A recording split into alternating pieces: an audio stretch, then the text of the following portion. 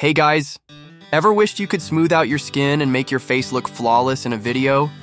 Well, in this tutorial, I'm going to show you how to do just that using CapCut. Let's jump right in. First, make sure you have CapCut installed. Once you open the app, go to the Retouch menu to start editing.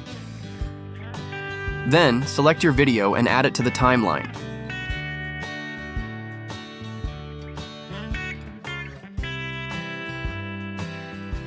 Now tap on Face.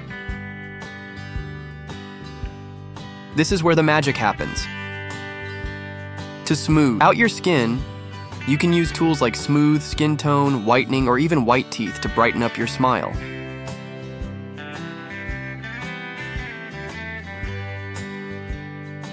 If you want to adjust your facial features, go ahead and tap Reshape.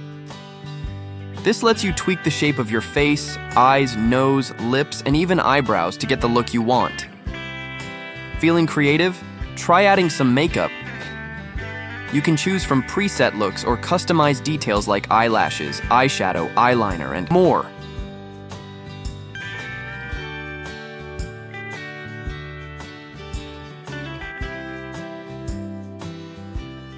Once you're done editing, check out the before and after effect by tapping this button.